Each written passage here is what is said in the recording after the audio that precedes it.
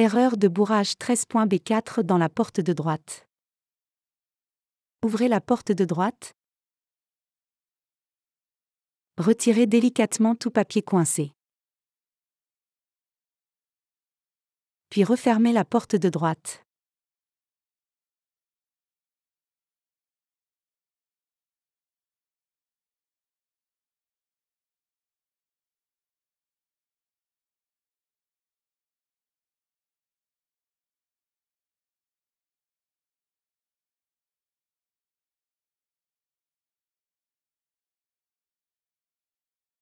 Vous trouverez d'autres vidéos utiles sur notre chaîne YouTube d'Assistance HP.